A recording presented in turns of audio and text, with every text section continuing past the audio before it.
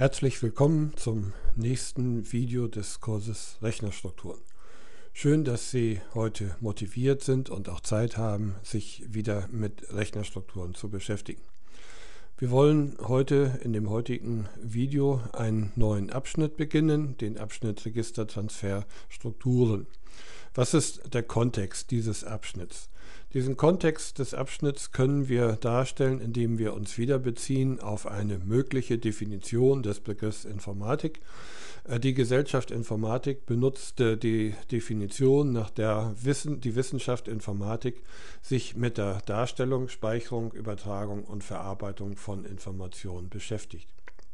Wir haben uns auch bisher bereits mit der Verarbeitung von Informationen beschäftigt und äh, auch in dem nächsten Abschnitt wird es um die Verarbeitung von Informationen gehen.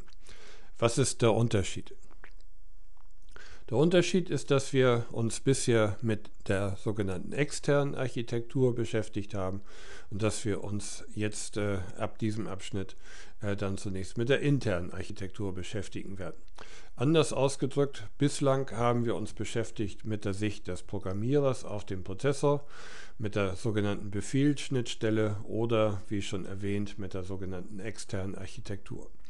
Verglichen mit einem Auto können wir sagen, wir haben uns ein Auto angesehen äh, aus der Sicht eines äh, Nutzers dieses Autos. Das heißt, wir wissen, äh, wie wir ein Auto bedienen können. An einem anderen Beispiel betrachtet, bei einer Kiste gefüllt mit äh, verschiedenen Inhalten, äh, haben wir bisher nur die äußere Sicht äh, dieser Kiste gesehen. Nunmehr geht es also jetzt äh, erstmalig um die interne Sicht auf die Dinge. Wir wollen uns ansehen, wie solche Rechner intern realisiert werden können. Und da die Komponenten, die wir uns dort ansehen werden, kleiner sind als die, die wir bisher angesehen haben, sprechen wir auch von der sogenannten Mikroarchitektur. Wir werden sehen, wie man mit Hilfe äh, von äh, Leseoperationen auf Registern, Verarbeitungsoperationen auf den so gelesenen Inhalten und äh, dem Kopieren der Ergebnisse in in der Regel andere Register dann insgesamt die externe Architektur realisieren kann. Wiederum übertragen auf äh, Autos können wir sagen, dass wir uns jetzt ansehen, äh, wie Autos funktionieren. Das heißt, dass wir in äh, die Autos hineinsehen, um zu verstehen, wie Autos funktionieren. Übertragen auf unsere Schatztruhe können wir sagen, dass wir nunmehr die Schatztruhen öffnen, um dann vielleicht die versteckten Goldschätze in diesen Schatztruhen zu finden. Um äh, jetzt zu verstehen, wie solche Rechner intern aufgebaut sind, müssen wir sicherstellen, dass sie die verschiedenen Komponenten verstehen, aus denen solche äh, Rechner aufgebaut sind, die sogenannten Registertransferkomponenten. Manche dieser Komponenten haben Sie bereits in den vorangegangenen Abschnitten kennengelernt. Ich werde aber hier einmal noch die wesentlichen Komponenten vorstellen. Teilweise wird es eine Erinnerung sein an das, was Sie in den ersten Abschnitten schon gelernt haben. Teilweise werden wir äh, die verschiedenen Komponenten etwas detaillierter vorstellen, als das bisher der Fall war. Welches sind jetzt die Komponenten von Registertransferstrukturen? Nun, eine wichtige Klasse darin bilden sogenannte Decoder. Decoder sind Bausteine, die gespeist werden mit einem bestimmten Bitvektor, sagen wir x, mit einer bestimmten Breite dieses Bitvektors, sagen wir m, und ein solcher Decoder berechnet irgendeine Funktion, irgendeine Art Neukodierung auf äh, den Werten im Eingabevektor, derartig, dass ein neuer Bitvektor entsteht, äh, der im Allgemeinen eine verschiedene Breite von der Breite des Eingangsvektors hat. wir nennen diese Breite hier n. Ein besonders prominentes Beispiel eines solchen Decoders ist der sogenannte 1 aus n Decoder. Der 1 aus n Decoder versucht äh, in einem relativ äh, breiten Ausgangswort äh, als 1 äh, darzustellen die Nummer, die an dem Eingang jeweils eingegeben wird. Das bedeutet, wir interpretieren den Bitvektor am Eingang als eine gewisse natürliche Zahl i wobei wir hier in der Notation die übliche Umrechnung von Bitvektoren in natürliche Zahlen nutzen. Und genau die so bestimmte Zahl i sagt jetzt, welches Bit äh, an der Stelle dann auf 1 zu setzen ist und alle übrigen Bits werden dann auf 0 gesetzt. Im konkreten Beispiel, wenn dieses die Zahl 0 ist, dann wird das Bit 0 auf 1 gesetzt. Wenn dieses die Zahl 1 ist, wird das Bit 1 auf 1 gesetzt. Wenn dies die Zahl 2 ist, wird das äh, Bit 2 auf 1 gesetzt und so weiter. Derartige äh, 1 aus n Decoder wird man relativ häufig verwenden. Wir werden gleich sehen, dass wir sie beispielsweise bei Speichern zur Adressdekodierung benutzen werden. Ein zweites, auch noch sehr wichtiges Beispiel ist der sogenannte Prioritätsencoder. Beim Prioritätsencoder äh, werden wir in der Regel äh, einen Eingangsbitvektor haben, der breiter ist als der Ausgangsbitvektor unter den verschiedenen Bits im Eingangsbitvektor versuchen wir dasjenige Bit zu bestimmen, welches quasi das höchste Gewicht hat, die höchste Bedeutung. Welches ist das Bit mit der höchsten Bitnummer, welches auf 1 gesetzt ist. Das heißt, wir suchen innerhalb eines solchen Eingangsbitvektors das höchstwertige Bit, welches 1 auf 1 gesetzt ist. Und äh, die Nummer dieses Bits kodieren wir dann als Zahl und geben sie am Ausgang aus. Sollte überhaupt kein Bit auf 1 gesetzt sein am Eingang, äh, so wäre das Ergebnis eines solchen Decoders undefiniert. Um ein Beispiel zu nennen, angenommen, äh, es ist äh, hier ein ganz bestimmtes Bit auf 1 gesetzt, das Bit Nummer 5, wenn wir hier beginnen bei 0 zu zählen, äh, dann würden wir am Ausgang die 5 kodieren. Neben diesen Decodern haben wir als zweite wichtige Klasse von Komponenten in Registertransferstrukturen sogenannte Multiplexer. Bei Multiplexern versuchen wir aus äh, einer gewissen Menge von äh, äh, Eingangsbitvektoren einen auszuwählen. Welchen wir dort auswählen, hängt äh, an äh, den Werten, die wir auf einem Kontrolleingang vorfinden. Die Werte auf dem Kontrolleingang äh, interpretieren wir wiederum als eine natürliche Zahl. Und diese natürliche Zahl, sagen wir i, bestimmt jetzt, dass gerade der Eingang EI ausgewählt wird. Wenn wir also hier einen konkreten Fall betrachten, den Fall eines sogenannten 2 auf 1 Multiplexers, dann würden wir, wenn der Kontrolleingang eine 0 kodiert, dann den Eingang 0 auswählen. Wenn der Kontrolleingang äh, eine 1 kodiert, äh, dann würden wir den Eingang 1 auswählen. Im allgemeinen Fall werden wir hier bei den Ein- und Ausgängen jetzt äh, Bitvektoren einer Breite größer 1 verwenden, sodass wir äh, beispielsweise ganze Worte auf diese Art und Weise auswählen können. Ein anderer Fall wäre der Fall eines 4 auf 1 Multiplexers. Der wird bei uns in den Beispielen relativ häufig vorkommen.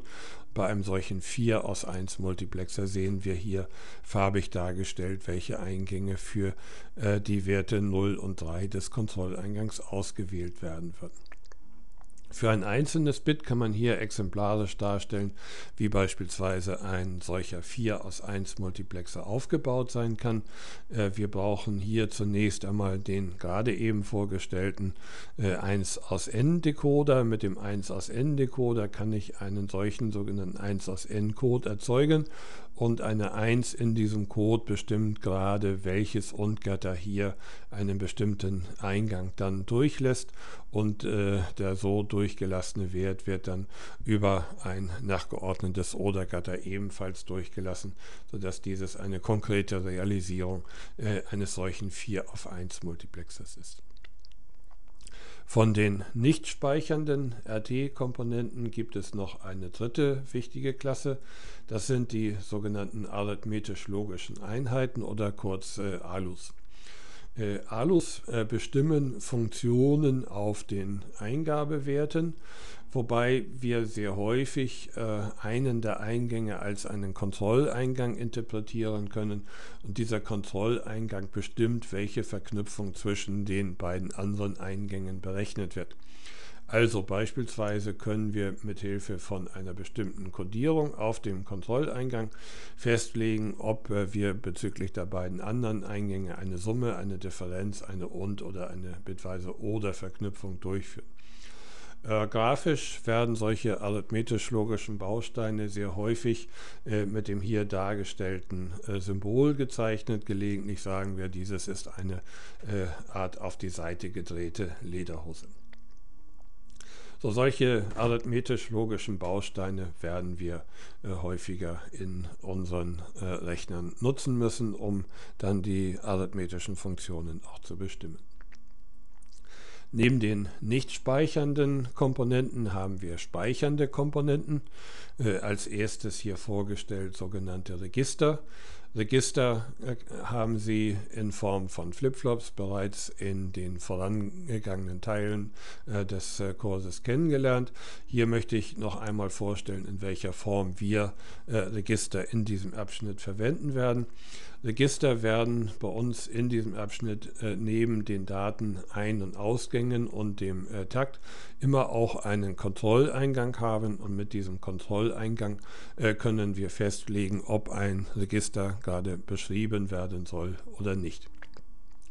Für ein einzelnes Bit können wir hier darstellen, wie ein solches Register praktisch einen sehr einfachen Automaten realisiert. Ein Automat mit den Zuständen 0 und 1 und äh, bei einem solchen Automaten haben wir Übergänge, wenn äh, die Kontrolle auf Schreiben gesetzt ist, wenn die Daten auf 1 gesetzt sind und wenn eine Bedingung bezüglich des Taktes erfüllt ist, dann werden wir hier einen Übergang in den Zustand 1 haben. Und äh, wenn äh, in derselben Situation äh, wir am Dateneingang eine 0 vorfinden, dann werden wir hier einen Übergang äh, in äh, den Zustand 0 haben. Ähm, mit der äh, Bedingung bezüglich des äh, Taktes hat es folgende Bewandtnis. Wir können unterscheiden zwischen der sogenannten Flanken- und Pegelabhängigkeit äh, in Bezug auf das Taktsignal. Bei der Flankenabhängigkeit werden Übergänge immer nur dann stattfinden, wenn wir eine Flanke haben beim Taktsignal. Und beim Pegel kann für einen ganz bestimmten Pegel immer ein Übergang stattfinden. Ähm, bei der Flankenabhängigkeit unterscheiden wir dann noch zwischen der positiven Flankenabhängigkeit und der negativen Flankenabhängigkeit. Bei der positiven äh, werden Übergänge nur bei einem Wechsel von 0 auf 1 stattfinden und äh, bei der negativen Flankenzirkung nur bei einem Wechsel von 1 auf 0. Bei der Pegelabhängigkeit kann für einen ganz bestimmten Pegel immer ein Übergang stattfinden. Wenn wir also hier eine Pegelabhängigkeit haben, wo äh, immer äh, äh, bei einem Wert des Taktsignals von 1 Übergänge stattfinden können, so würden hier mehrfach Übergänge stattfinden können, solange wie dieses Taktsignal äh, auf 1 ist. Angenommen, die Daten ändern sich während der Zeit, wo dieser Takt auf 1 gesetzt ist, dann würden wir hier auch mehrere Übergänge haben. Wenn wir jetzt äh, größere Mengen an Informationen zu speichern haben, äh, so werden wir in der Regel diese adressiert ablegen müssen und dazu dienen natürlich Speicher. Speicher möchte ich immer anhand des hier gezeigten Symboles darstellen. Auch bei Speichern werden wir immer annehmen, dass wir einen Kontrolleingang haben. Bezüglich des Kontrolleingangs äh, gilt äh, das eben Gesagte bezüglich der Taktabhängigkeit. Bei Speichern haben wir aber äh, immer auch die Möglichkeit, eine Adresse oder die Notwendigkeit, eine Adresse anzulegen, äh, um explizit anzudeuten, dass ein bestimmter Eingang ein Adresseingang eines Speichers ist, äh, verwenden wir hier in Dortmund immer explizit äh, den 1 aus N-Decoder, der in solchen äh, Speichern ja vorhanden sein muss, um eine ganz bestimmte Speicherzelle auch äh, auszuwählen. Diese Verwendung eines expliziten 1 aus N-Decoders hilft uns dabei immer zu erkennen, äh, was ist äh, der Adresseingang. Wie auch bei äh, den Registern werden wir in unseren Beispielen äh, bei der Kontrolle immer die äh, Konvention annehmen, dass eine 1 bedeutet, wir schreiben in den Speicher und eine 0 bedeutet, wir schreiben nicht in den Speicher, der Inhalt bleibt erhalten. In der Hardware gibt es die Möglichkeit, parallele Operationen verhältnismäßig einfach anzusteuern. In Bezug auf Speicher gelingt dieses insbesondere durch die Verwendung von sogenannten Multiport-Speichern. Bei Multiport-Speichern können wir in dem hier gezeigten Beispiel unter zwei äh, potenziell unterschiedlichen Adressen dann äh, zeitlich überlappend äh, dann ähm, Informationen aus mehreren äh, Speicherzellen auslesen. Wir haben hier weiterhin auch äh, einen ähm, Dateneingang. Es muss durch eine Beschriftung jetzt irgendwie erklärt werden, zu welchem Adresseingang dieser Dateneingang dann gehört. Äh, Speicher mit mehreren äh, Dateneingängen äh, wird man nur relativ selten finden. Sollte man einen solchen Speicher verwenden, so stellt sich die Frage, was passiert, wenn man äh, zeitlich überlappend äh, über mehrere Ports auf dieselbe Speicherzelle schreibt. Äh, das Ergebnis wird dann in vielen Fällen implementierungsabhängig sein, zum Beispiel aus der Unverknüpfung der geschriebenen Inf Informationen bestehen.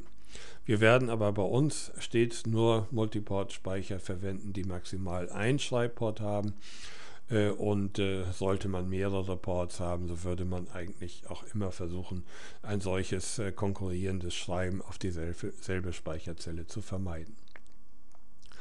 In Bezug auf die benutzten Komponenten wollen wir weiter noch zwei wesentliche Unterscheidungen äh, zwischen Klassen von Speicherhierarchien ansprechen. Äh, es gibt hier zwei wesentliche Unterscheidungen, die eine Rolle spielen. Zum einen haben wir die Unterscheidung zwischen flüchtigen und nicht flüchtigen Speichern oder auf Englisch Volatile und Non-Volatile Memories. Im Fall nicht flüchtiger Speicher bleibt die Information nach dem Ausschalten des Stromes erhalten. Äh, Im flüchtigen Fall ist sie dann in der Regel verloren. Wir können weiter unterscheiden zwischen statischem und äh, dynamischem Speicher.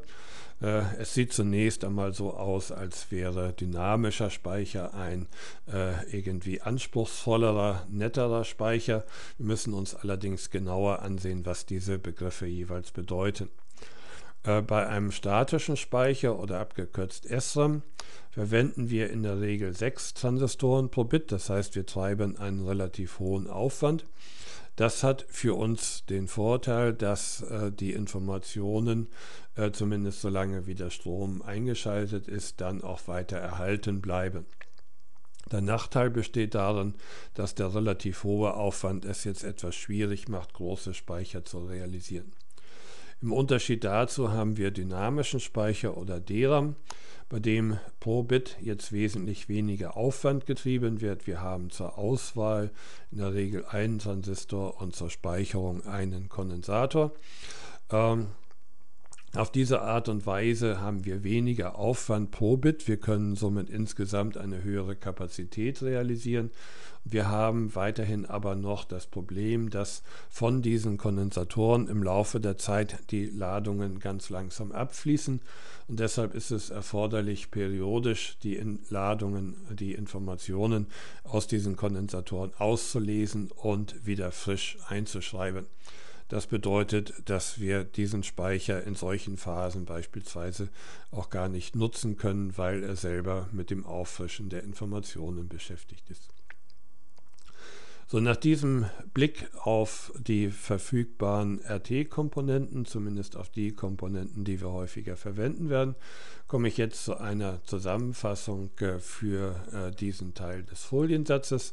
Ich habe Ihnen hier äh, vorgestellt den Übergang auf die Betrachtung nunmehr der internen Architektur und ich habe Ihnen die Komponenten einer Registertransferstruktur vorgestellt, äh, die wir häufiger benötigen werden. Dazu gehören Decoder, Multiplexer, arithmetisch-logische Einheiten, Register und Speicher. Mit diesen Komponenten können wir uns also dann anschließend äh, erklären, wie Rechner intern aufgebaut sind. Dieses ist äh, das Ende dieses äh, kleinen äh, Videos. Äh, Sie haben damit äh, einen Abschnitt äh, aus dem TV-Kanal Rechnerstrukturen betrachtet. Machen Sie den Kanal Rechnerstrukturen zu Ihrem Lieblingsabschnitt. Stay tuned. Sie haben gleich die Möglichkeit, den nächsten Abschnitt sich auch anzusehen. Bis bald.